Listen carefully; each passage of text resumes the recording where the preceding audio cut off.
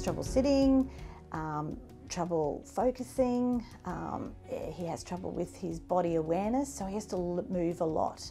And my burrow allows him to have that time to move but stay in a familiar space with either his class or with the family.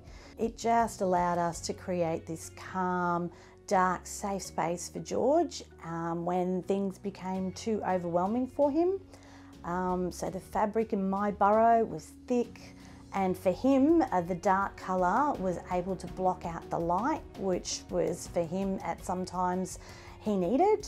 So, and with my burrow, the tighter we could stretch it, it created this pressure for him and this resistance for his joints and muscles. So, with his um, low muscle tone and hyperflexibility, it was a really great resistance. It also meant having the My Burrow in that family space.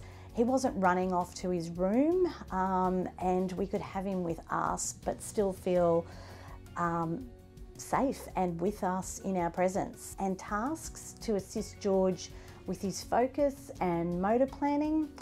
And so a lot of other social skills like turn taking. Um, so we were turning play into meaningful interactions and functional activities. So my burrow allowed us to get our girls in on the action as well.